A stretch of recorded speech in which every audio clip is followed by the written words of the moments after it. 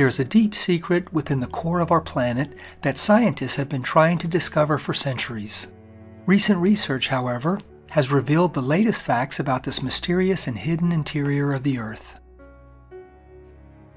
A study published in the Journal of Science by researchers and geophysicists Jessica Irving and Wenbo Wu of Princeton University in New Jersey, USA, together with Sidao Ni of the Institute of Geodesy and Geophysics in China, had proven the existence of mountain ranges and plains, some of which are hidden up to 660 kilometers below the Earth's surface. To identify this, they used the waves of the strongest earthquakes ever registered on the planet. This allowed them to find mountains, valleys, and various other topographies in the layers separating the upper and the lower mantle. This newly discovered layer has no official name so far, so the researchers have simply called it the 660 kilometer border. This information was obtained from so-called seismic waves, recordings of the heavy earthquake of 1994 in Bolivia, which had a magnitude of 8.2 and shook the sparsely populated Amazon region. It was the second strongest deep quake ever recorded. Earthquakes of this magnitude are very rare. Since the number of seismometers has increased over the last 20 years and seismic instruments are becoming more and more sophisticated, it is now possible to collect significantly more data. These seismic waves can penetrate, reflect, or refract even homogeneous rocks when they encounter boundary zones or irregularities. When they reached the border of 660 kilometers, the scientists were amazed by the roughness of the zone, in other words, the large unevenness. According to them, this area is much rougher than the surface layer we are on. This roughness is also not evenly distributed. Just as the surface of the Earth's crust has vast mountain ranges and vast plains, there are, according to the scientists, also rough areas and flat surfaces in the 660 kilometer border area under our feet. The difference is that the mountains inside are larger than any existing on the Earth's surface. The scientists also examined a layer 410 kilometers further towards the center of the Earth, which is located at the upper part of the transition zone to the middle mantle. However, they did not find any similarly rough structures there. Geophysicist Wenbo Wu commented that at the 660 kilometer boundary there's a larger topography than that of the Rocky Mountains or the Appalachians. For geoscientists, this area was a great opportunity for discussion. They questioned how heat flows through the mantle, whether the hot rocks are transported smoothly from the core mantle boundary to the tip of the mantle, or whether they're disrupted. Against this backdrop, there is some evidence to suggest that the upper and lower mantle are chemically different. This would support the theory that both layers do not have the same temperature and they are generally thermally very different. Others support the theory that there is no difference between the upper and lower mantle. For Jessica Irving, seismologists can only see the seismic waves moving through the interior of the Earth. However, this does not help us to understand to what extent the interior of the planet has changed in the last 4.5 billion years. The most surprising thing is that inside the Earth there are not only gigantic mountain ranges and vast valleys, but also enormous amounts of water in those same zones.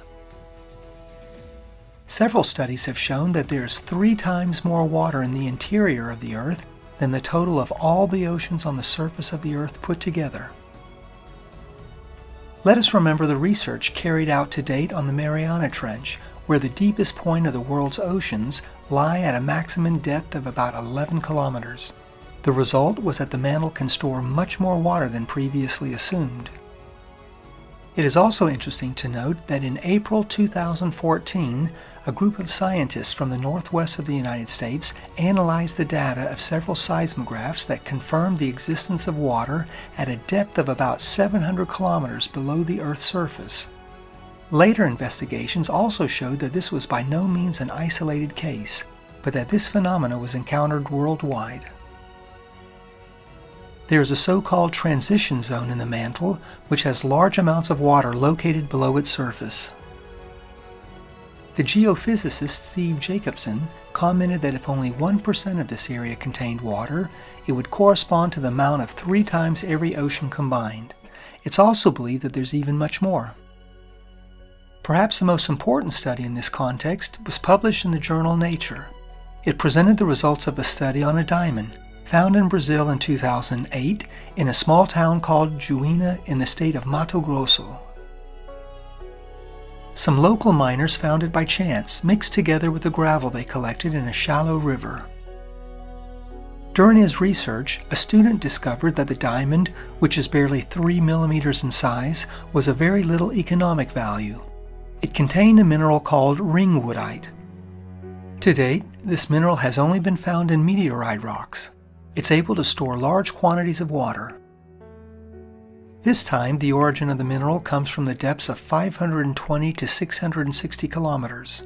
Diamonds come from the deepest parts of the Earth and rise to the surface due to eruptions through volcanic rocks called kimberlite. The study was conducted by geochemist Graham Pearson and his team at the University of Alberta in Canada.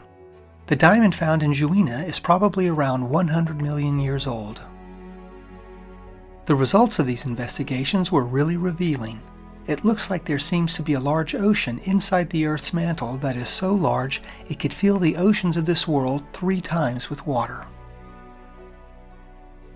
Scientists suspect that the water on the surface of our planet probably comes from inside the Earth. According to this, the theory that the water was caused by ice comets that fell to Earth millions of years ago is already being questioned.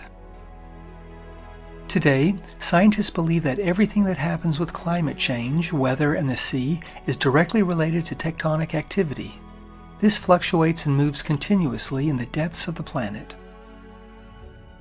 Extensive studies and numerous calculations were carried out to confirm the existence of a gigantic ocean in an area between the upper and lower layers of the mantle, which lies between 400 and 600 kilometers below the Earth's surface. As we can see, in the depths there are not only enormous quantities of water, but also huge mountain ranges and plains, something really strange. These discoveries are extremely advanced and offer hope for the possibility that there might actually be life inside the Earth. Could it be possible that the countless myths and legends that speak of the existence of intraterrestrial civilizations are not entirely wrong? There are stories told all over the world, from the tribes of America to the sailors of Northern Europe. This is even mentioned in ancient Roman and Greek texts. But what is certain is that despite the many legends and the many scientific theories, nobody knows for sure what is actually in the deepest interior of our planet. For now, this will remain a mysterious and unknown world.